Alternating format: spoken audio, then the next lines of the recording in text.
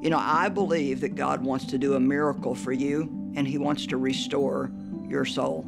And you do not have to spend the rest of your life hurting. Healing the Soul of a Woman. Now available wherever books are sold.